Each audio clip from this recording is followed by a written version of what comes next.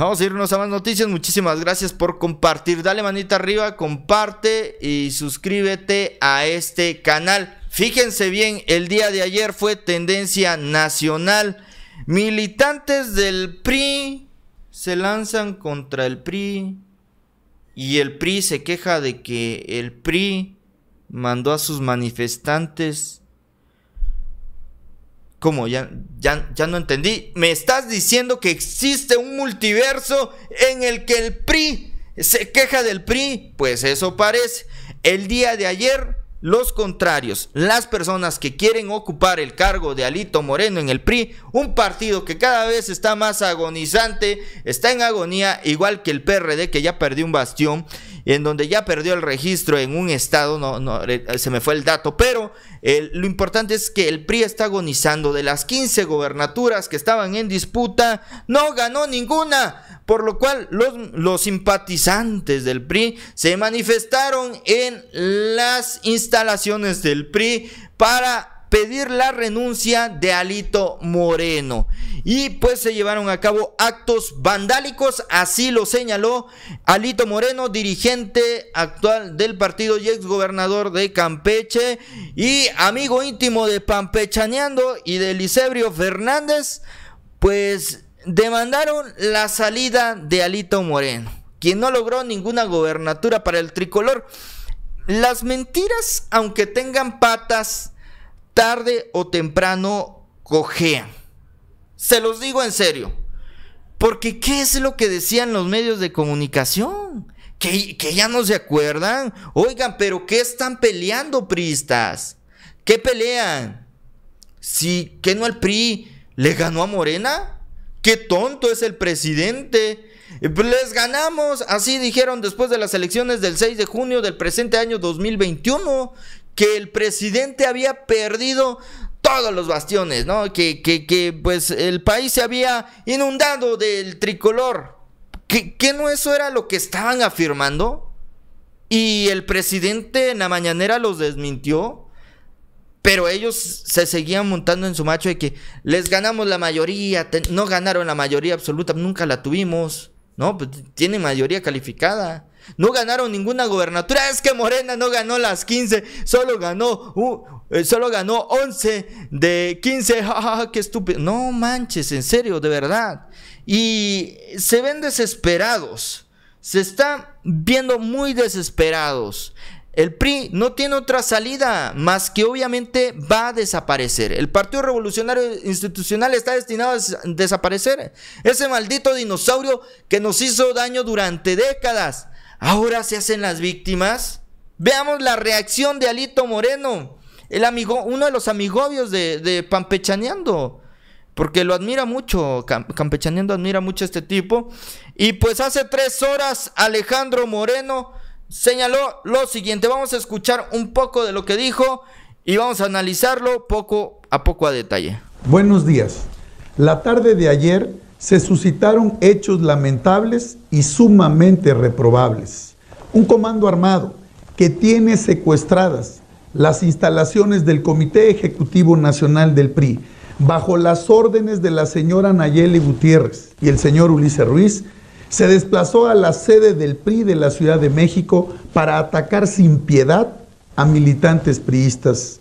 Los atacantes no eran civiles, ni militantes priistas, eran personas capacitadas en táctica de ataque, que con palos, pistolas, petardos agredieron a mujeres, jóvenes y niños inocentes ajenos totalmente a esto, quienes trágicamente resultaron lesionados y que ya se encuentran recibiendo la atención médica correspondiente. Saben que soy un político que pone por delante el diálogo, la construcción de acuerdos y el consenso. Nunca estaré del lado de la violencia, pero mucho menos la vamos a solapar. La militancia priista no es tonta. El día de hoy quedó evidenciado que el supuesto movimiento que la señora Nayeli Gutiérrez y el señor Ulises Ruiz encabezan es todo menos priista. Las imágenes lo demuestran. La cabecilla es una infiltrada al servicio de Morena y de sus aliados. En este momento están circulando en las redes sociales infinidad de videos en donde la señora Nayeli Gutiérrez respaldó a las candidatas y candidatos de Morena y de otros partidos en la pasada contienda electoral. Un priista verdadero sería incapaz de prestarse a eso que hicieron. Los intereses de la dupla Gutiérrez Ruiz no responden a los intereses ni de la militancia ni del PRI, ni mucho menos a los de México. Ningún ciudadano de bien validaría este atentado contra personas que pacíficamente estaban reunidas. Como presidente del Comité Ejecutivo Nacional del PRI, exigimos a las autoridades de la Ciudad de México y a la Fiscalía General de la República que atraigan este caso. Es necesario dar con los responsables de lo que a todas luces fue un atentado político y dejar caer todo el peso de la ley, tope hasta donde tope. Durante la madrugada, hasta hace unos minutos, acompañé a las familias de Francisco Ramírez, de Edmundo Herrat, que por cierto es un joven de 20 años que tiene un balazo en la espalda y que está en riesgo su vida y que se está atendiendo el día de hoy. Y si sucede algo trágico, única y exclusivamente será responsabilidad de la señora Nayeli Gutiérrez y el señor Ulises Ruiz, que en una actitud criminal permitieron que se lastimara a la militancia priista. También acompañamos a Lorena Díaz, a Jorge Armando, a Alan Coronel y a Jorge Gutiérrez, todos lesionados por este comando armado. Pude sentir el terror y la preocupación de sus padres y madres. Ningún mexicano debería pasar por este trágico momento. Por ello, agradezco las muestras de apoyo de todo el priismo nacional, de la militancia, de sectores y organizaciones de nuestro partido, de los comités directivos estatales, de los seccionales, pero sobre todo de la ciudadanía en general. Hoy verdaderamente es lamentable que las autoridades no hagan su trabajo.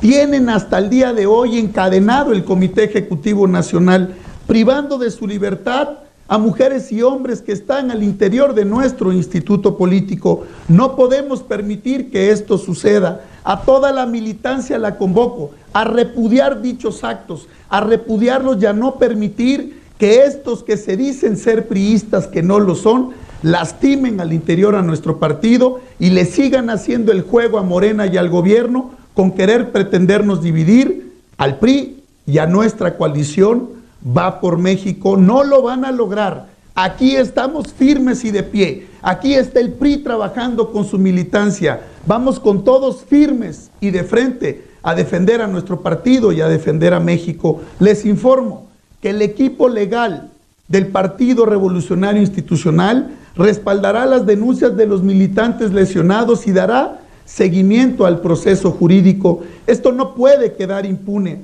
tendrán que responder ante las autoridades y de eso, y de eso me encargo yo.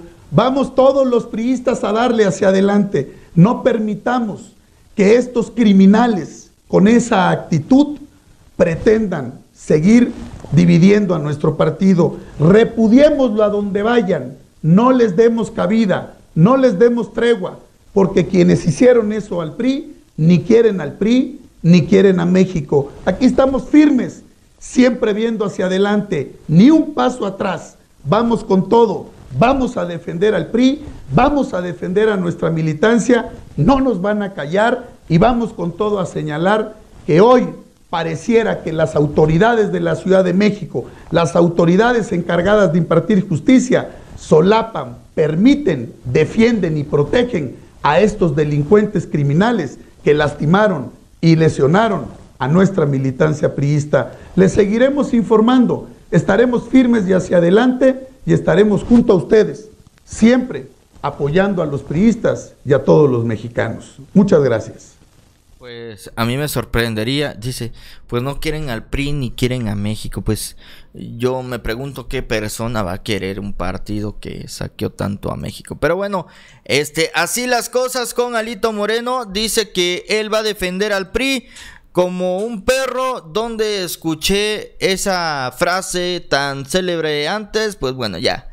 Sabemos, eh, típico de los priistas, y bueno, culpa a Morena de todos los acontecimientos suscitados en los edificios del Partido Revolucionario Institucional. Pero bueno, ni renovándose, ni cambiándose el logo, ni poniéndose PRIAN, va a, pues a ganar ya. El PRI es un, es un partiducho muerto, ya es un partido satélite, ya nadie lo toma en cuenta y pues la cero seriedad que tiene todo esto es verdaderamente inverosímil. Pero bueno, aquí están las noticias que yo aquí voy a estar dando.